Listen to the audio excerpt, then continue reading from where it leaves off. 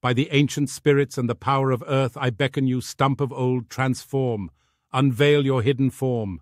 Bear of strength and courage, I call upon thee, awaken from your wooden slumber and roam free.